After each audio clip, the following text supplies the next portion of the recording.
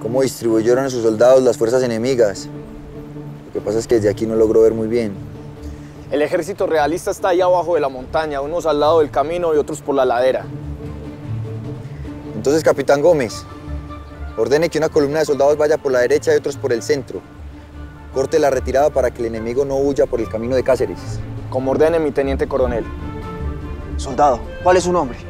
Salvador Alzate. Soldado Alzate, permanezca siempre al lado del teniente coronel y lo mantiene informado de todos los incidentes que ocurran durante el combate. Como ordene. Cualquier orden que tenga el teniente coronel me la hace saber. Como ordene.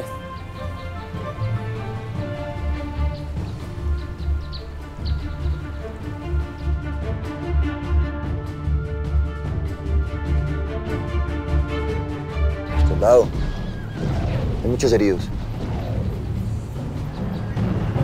Solo cinco, mi teniente coronel. Y un muerto. Pero todos son del ejército realista. Eso quiere decir que estamos ganando el combate. Así es, mi teniente coronel.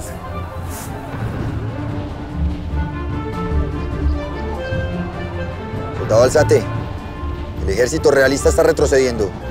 Sí, mi teniente coronel. Están corriendo como las gallinas de mi casa cuando las persigo para matarlas y echarlas al sancocho. Entonces vamos a hacer sancocho de realistas. ¡Que viva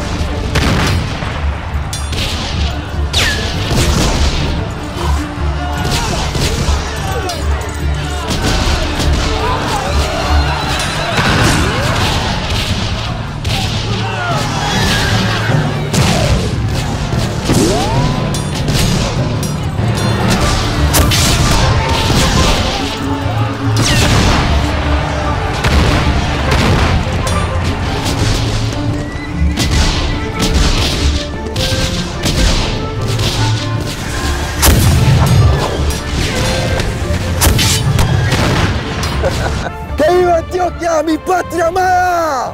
¡Que viva mi coronel Córdoba! ¡Que viva mi general Bolívar! ¡Que viva! Soldado, es hora de ir a nuestros hogares y celebrar esta justa victoria de las armas patriotas.